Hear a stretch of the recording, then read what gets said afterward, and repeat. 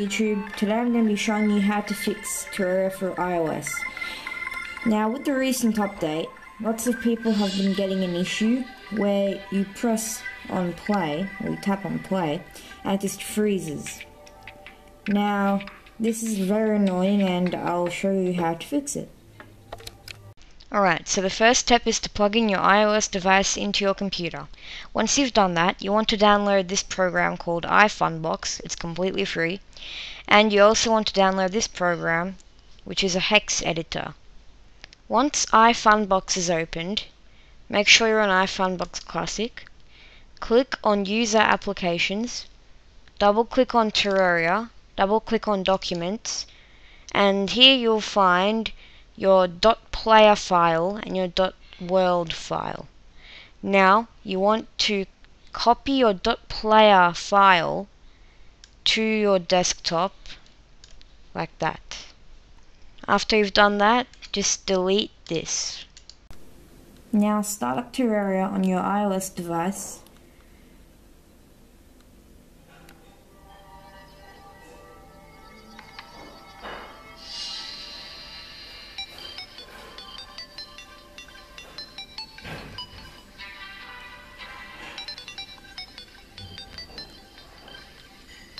and press on play.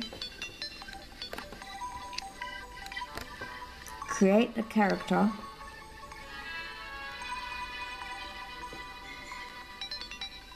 Name him whatever you want.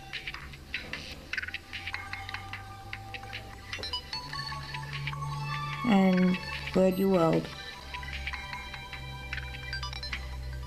Now the reason we're doing this is to create the .player file that isn't bugged out.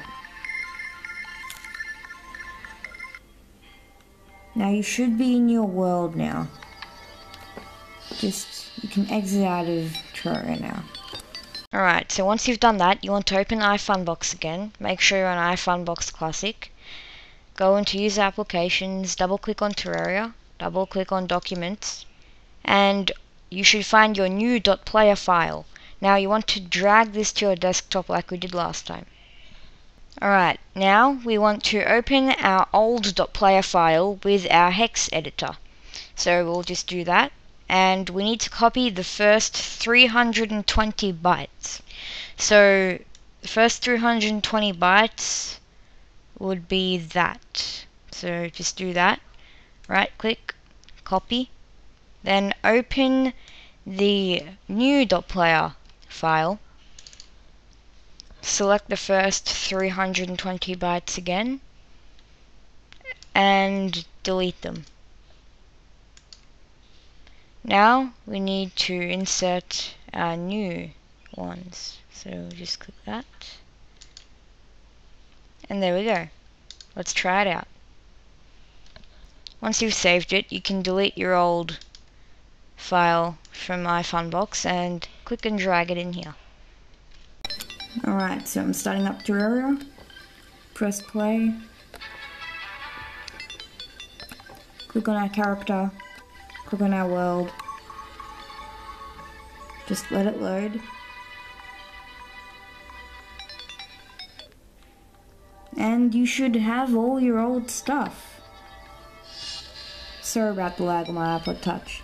So yeah, I've got all my stuff before the update wrecked it, and yeah, that's a temporary fix until they fix it. Thanks for watching, and don't forget to subscribe.